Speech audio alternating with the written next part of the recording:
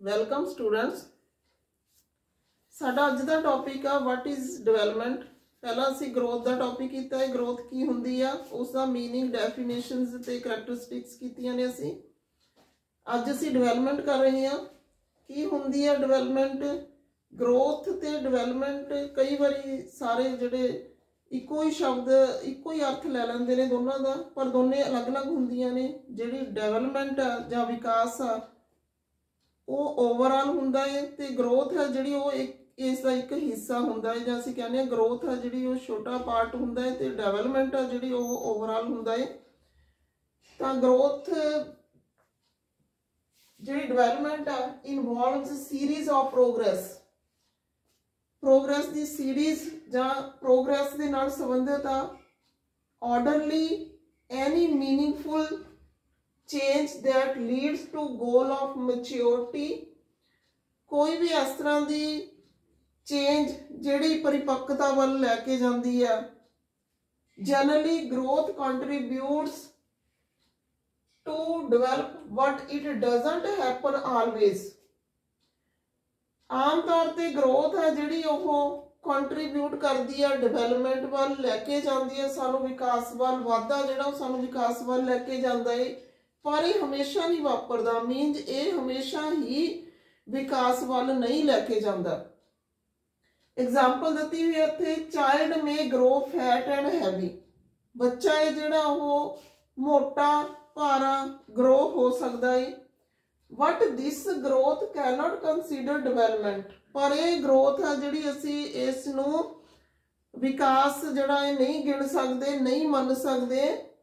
Because it doesn't justify as the change should be progressive, orderly and meaningful. ਅਸੀਂ ਇਸ ਨੂੰ ਵਿਕਾਸ ਤਾਂ ਨਹੀਂ ਗਿਣ ਸਕਦੇ ਕਿਉਂਕਿ ਅਸੀਂ ਇਸ ਲਈ ਜਸਟੀਫਾਈ ਨਹੀਂ ਕਰ ਸਕਦੇ, ਮੰਨ ਨਹੀਂ ਸਕਦੇ ਅਸੀਂ ਕਿ ਇਹ ਜਿਹੜਾ ਵਾਧਾ ਹੈ, ਇਹ ਪ੍ਰੋਗਰੈਸਿਵ ਆ ਆਰਡਰਲੀ ਆ ਜਾਂ ਮੀਨਿੰਗਫੁਲ ਆ। ਕਿ ਇਹ ਜਿਹੜਾ ਵਾਧਾ ਹੈ, ਇਹ ਸਹੀ ਢੰਗ ਨਾਲ ਹੋ ਰਿਹਾ ਹੈ, ਅਸੀਂ ਨਹੀਂ ਕਹਿ ਸਕਦੇ।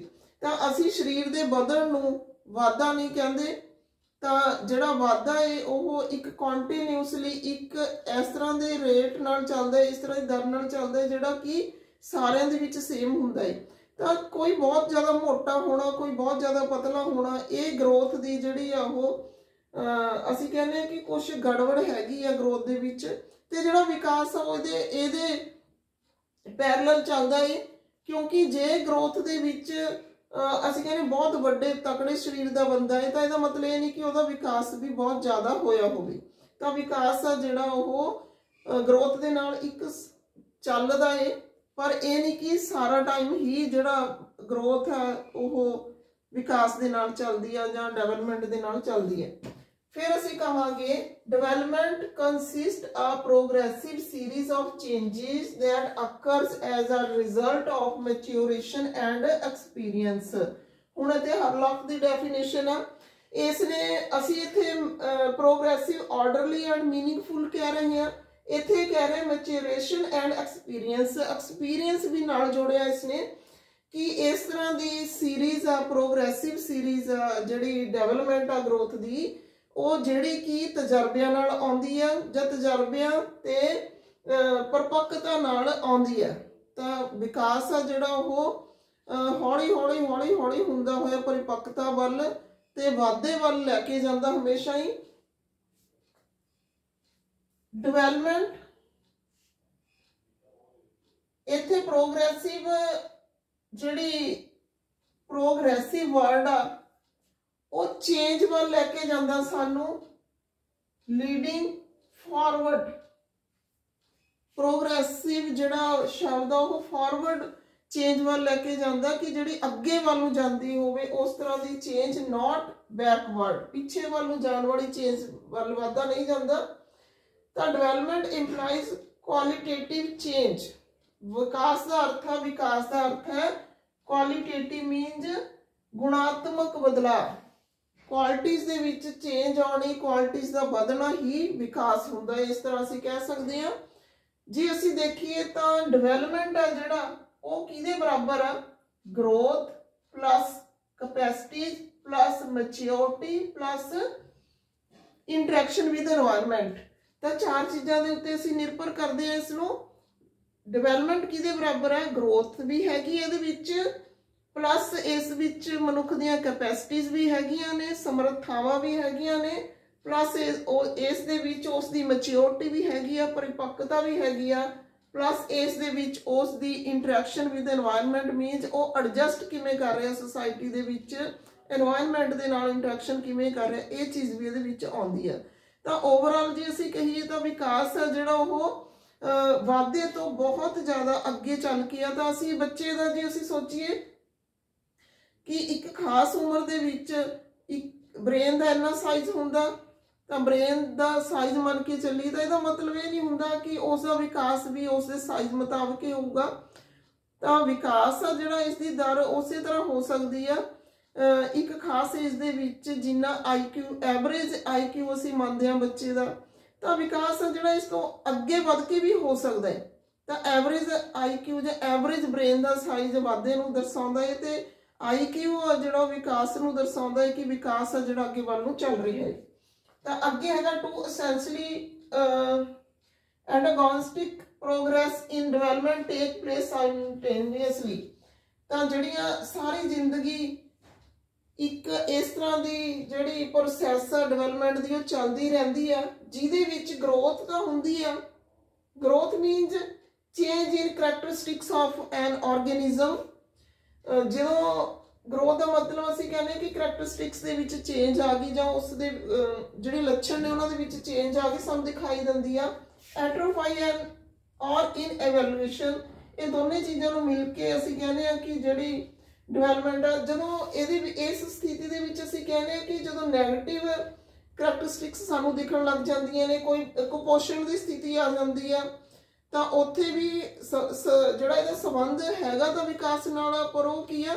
ਉਹ ਬੈਕਵਰਡ ਸਾਈਡ ਨੂੰ ਅਸੀਂ ਕਹਿ ਸਕਦੇ ਹਾਂ ਕਿ ਰੁਕ ਜਾਂਦਾ ਵਿਕਾਸ। ਉੱਥੇ ਰੁਕਿਆ ਹੋਇਆ ਹੁੰਦਾ ਕਿਉਂਕਿ ਉਸ ਨੂੰ ਕੋਈ ਸਰੀਰਕ ਪਰੇਸ਼ਾਨੀਆਂ ਨੇ ਜਿਹੜੀਆਂ ਹੋ ਸਕਦੀਆਂ ਨੇ।